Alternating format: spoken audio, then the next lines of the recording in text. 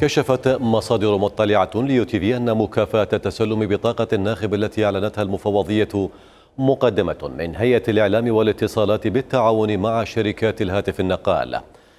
المصادر قالت إن المكافأة عبارة عن كارت إعادة تعبئة الرصيد من دون تحديد قيمته فيما أوردت وسائل إعلام محلية أن من يتسلم بطاقته فسيحصل على كارت بقيمة عشرة آلاف دينار.